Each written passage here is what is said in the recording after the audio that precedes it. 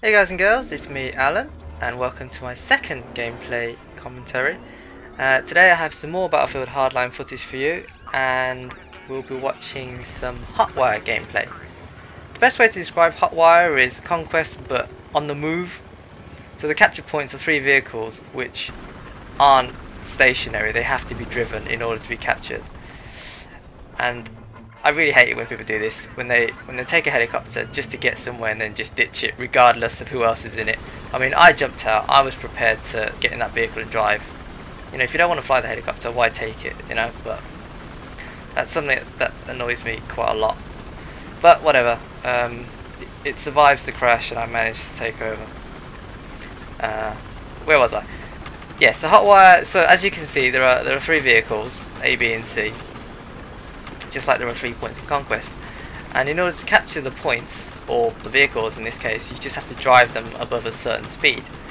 And that uses up the tickets the same way as if you've captured a Conquest point in normal Conquest. And that's it really. Um, it's, I mean, it's an interesting concept and it is really fun. Uh, chasing other players and you know trying to evade trying to evade other players chasing you. And I don't know, it's just I just really enjoy it. I probably spent the most time playing this game mode in, in the beta. I mean, I didn't get to play as much of it as I wanted to, the, the whole beta in general, but what time I did spend, I, I did play quite a lot of this Hotwire mode. In my first video, I did say that I felt the gameplay was a little bit short, and that my next video might be a bit longer. Well, I, I eventually settled on this particular match, but this match is like 20 minutes in total. It's basically the entire time frame. And I felt that was a bit long, but as it happens, I can split the video into two parts because something happens uh, later on that is a nice little. I can sort of end it at that section and then I do something different in the next section. So I'm going to split this video into two parts, but it will still be considered the same commentary. So I will link I will link the second part if you uh, are interested in watching that second half. But in this first half, I'm basically just playing a helo pilot, as you can see, and I just really enjoy flying the helo. I mean, it was I, I did it a lot in Bad Company 2. I would fly the helo basically, you know, if if no one else was gonna fly it, I would fly it because there's just something about being the guy who you know transports other players or provides overwatch. Um, you know, getting the gunners into position so they can, you know, secure kills and whatever. I just enjoy that. Um, I don't do it all the time, but you know, I just I do enjoy it. I do enjoy it, and I don't mind doing it. So if it helps my team, then great. Um, and you know, speaking of Bad Company 2, I I feel like Hardline has a similar essence of Bad Company. Um, I don't know what it is. Maybe it's the fact that it's not as there's not as much going on as in Battlefield 3 and Battlefield 4. It's a little bit more simplistic, but in a good way. But that's what I like about the Battlefield franchise. You know, the objective-based game modes. I never, I never play it for you know, team deathmatch style game mode because that to me just doesn't really I don't know, it's just not fast paced enough for my liking. And Call of Duty and Team Deathmatch just seem to go hand in hand. You know, the maps are smaller and the, the gameplay is a lot faster paced. But yeah, I don't mind that. That's fine because you know I like having a bit of variety. I don't want two different Call of Duty franchises. You know, it's good that Battlefield, in my eyes, has something different to offer, so that when I play it, I have something you know fresh to play, something something different and driving vehicles is one of the things that I enjoy doing in Battlefield because obviously I can't do it in Call of Duty or a lot of the other games that I play. And flying a helicopter, I do enjoy it. I know I keep talking about it, but I do enjoy flying a helicopter, and especially when, especially when you've got a gunner who knows what they're doing and who can get you kills, well, assists, you know. Um, because there's no point flying someone who can't shoot the gun or can't aim the gun and then you're just wasting time. And even though people can use the helicopter as a, as a spawn point. I don't think they do it enough, you know. It's like, I'm always in pursuit, or at least try to be always in pursuit, and nobody ever really spawns in it, but maybe that's just because it's the beta and people are still trying to learn things. But one of the things I try and do as a pilot is to position myself at the vehicle spawn locations when there's a, a new car in play.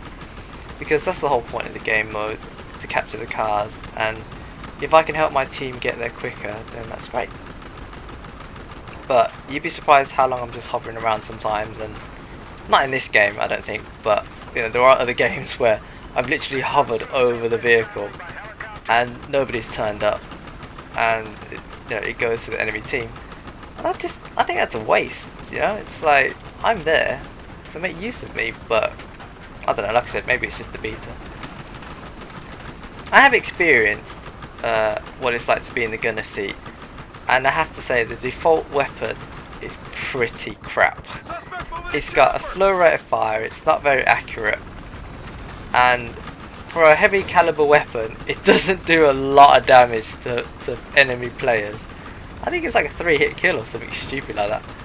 And trying to land three shots with that thing is not an easy task to do. But where it does shine is taking out enemy vehicles. That's why you'll see me uh, flying around enemy cars and in this case enemy helicopter instead of players on foot because it's just a lot easier to hit vehicles and I think it might do more damage against vehicles than against humans. And there you go, the enemy team, well it Seems like there's only one person in that helicopter and they bailed. So maybe there wasn't, I don't know. There must have been someone repairing it. But they didn't bail, so that pilot has just, just jumped ship and left them to it. Um, another thing I hate, but sometimes sometimes you give people the order to jump out and they don't listen. Like you know, like when there's uh, when you when you've been locked on by a stinger and you know it's coming in.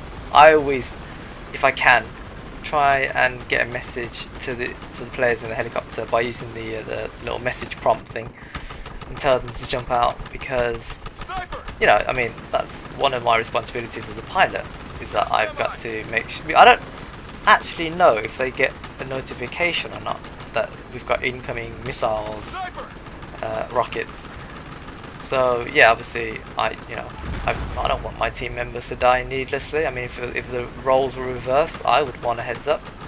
So I do try and get the message out, and sometimes they do jump, and sometimes they don't, and then you'll just see like a a feed in the corner where half your team have been wiped out because they, they didn't take you they didn't take your advice. But you can only do what you're doing. If they don't listen, they don't listen. Uh, maybe they're not paying attention or something. I, I don't know like I said, it's beta, so... And, you know, I think... I mean, maybe it's just me, but I'm being a bit... I feel like I'm doing quite a lot of work as a pilot, so I feel there should be a little bit more assist points provided, because, you know, I need to get the, the gunners in position and, you know, and not crash, which some people find hard to do. But I find, well, I've had a lot of practice flying, so I can't really say. But I don't know. I just, I would, I would like a little bit more assist points because I can't actually get any kills myself. There's, I can't control any of the guns while I'm flying the, while I'm flying the helicopter.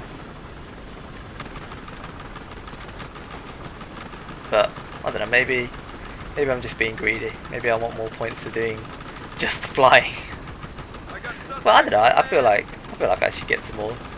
Especially if people get like absolutely loads of kills. Maybe there should be a bonus. Every I know, every three, four kills or something I should get like an extra set of points just just because.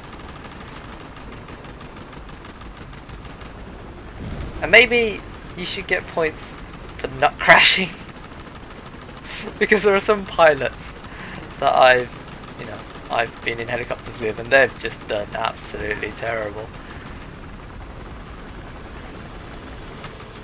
Go, go, go! I mean, we were all learning once. But like I said, if you can't fly the helicopter, if you don't want to fly the helicopter, then don't because there are people who will do it. and chances are they'll do a pretty good job if I do say so myself.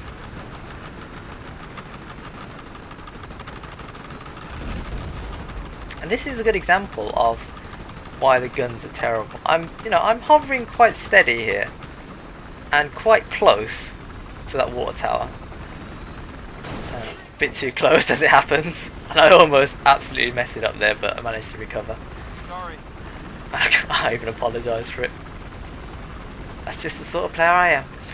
Uh, and that guy didn't manage to kill that enemy player who was just literally prone on the ground behind one of the pillars um, of the of the water tower. But you know, I, I understand how difficult it is to use the machine gun, so I just move on, start chasing a different vehicle.